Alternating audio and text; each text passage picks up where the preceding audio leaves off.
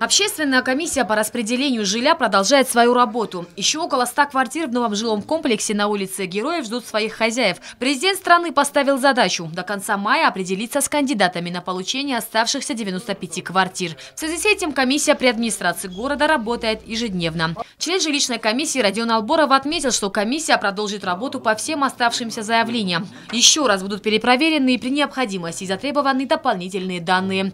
Тем лицам, которым ранее э, не, было, не были предоставлены квартиры по определенным причинам, то есть в отношении которых комиссия сомневалась, эти лица, эти заявители в настоящее время будут снова рассматриваться э, в обязательном порядке. И, соответственно, в случае необходимости их будут допроверять, в том числе и группы будут ходить снова, если это понадобится. Никто не останется нерассмотренными. В работе комиссии много времени уходит на изучение документов и проверку их достоверности. Одна из главных проблем в работе комиссии – нехватка информации об имуществе очередников.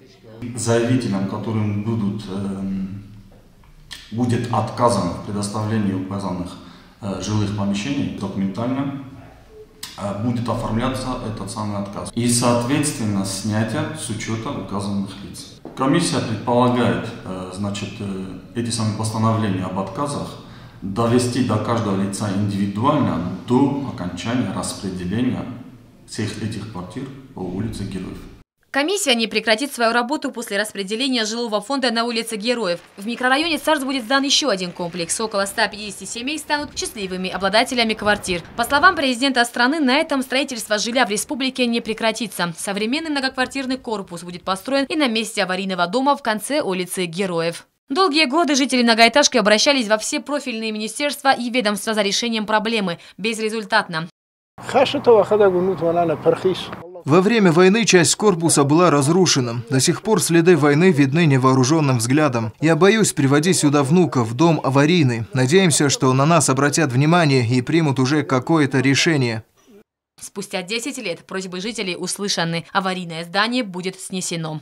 Улица Героев 118, является действительно аварийным. Его тоже будем сносить. На его месте будет строиться такой же дом, ну, э, конечно, с улучшенной планировкой. То, как выглядел этот разрушенный войной квартал, скоро можно будет увидеть лишь на архивных кадрах. Республика восстанавливается. Есть полная уверенность, что в ближайшие годы самый острый вопрос будет снят с актуальной повестки. Зарина Кочева, Азамат Кудзеев. Информационный выпуск сегодня.